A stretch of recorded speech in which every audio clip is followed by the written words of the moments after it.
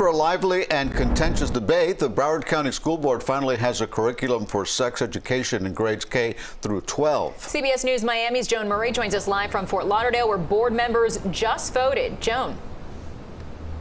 Yeah, and that board meeting's still going on as we speak. But I can tell you, this has been a long time coming. Remember, last year we ended the school year without any sex ed curriculum in place. So the district has been working months on this plan. And this afternoon, when this issue came up, a lot of here people were here to speak their mind. I'm worried that my grandkids will not be getting the education they need. From the start, there was a divide over the sex education curriculum the Broward School Board has worked on for months. And we are cautioning the board again against inappropriate materials in our schools and school libraries. But let's go back to basic in reference to sex ed, and the law is the law and should be respected. Gender ideology and all the use of pronouns, pronouns should not be part of the curriculum as presented in the law. There's homework assignments provided for parents to be encouraged to have the conversations with young people.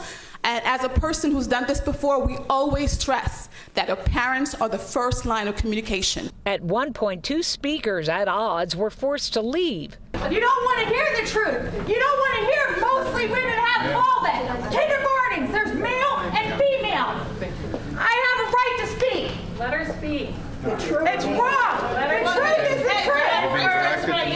And she should be leaving too. Don't push me.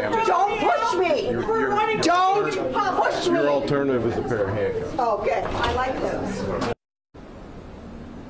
Even after that, still a lot of discussion. And just a short time ago, the board voted five to four to adopt the curriculum. It has to go to the state for their approval. Now, they did point out that any parent who feels uncomfortable with any of this curriculum can choose to opt out for their child.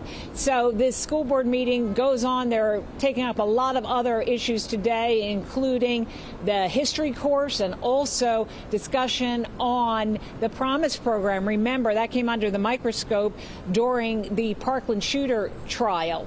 So uh, we'll have an update coming up at 6 o'clock. Reporting live in Fort Lauderdale, Joan Murray, CBS News Miami. Well, things really got heated during that meeting, Joan. Thanks a lot.